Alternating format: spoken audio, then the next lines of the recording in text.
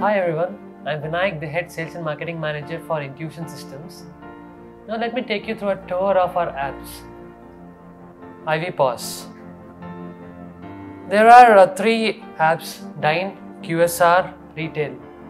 Dine is generally used for fine dine restaurants, bars, cafes, uh, fast food restaurants, and uh, quick service uh, restaurants normally come under QSR.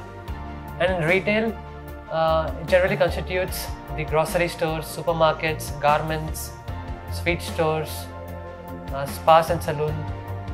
So these come under uh, retail. I'll explain you about the sign up. You can download our app from Play Store. Give the company name, store name, device name. You enter your phone number, email, and password. And before that, you can select whether it is Dine, QSR, or uh, retail. Once it is done, you can click on confirm. On clicking confirm, you will be getting one verification code to your email ID. You have to enter that six digit verification code and then click on free trial and then uh, check out our software.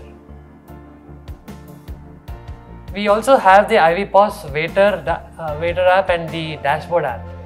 Pause Waiter is used for waiter order taking, that is a captain app.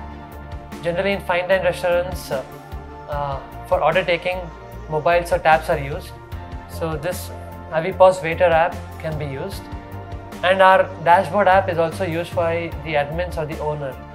The owner or the admin can download the dashboard app. We have the Android as well as web app. They can uh, directly download it, enter the credentials, and see the real time data and analytics. To know more, you can subscribe to our YouTube channel IVEPOS.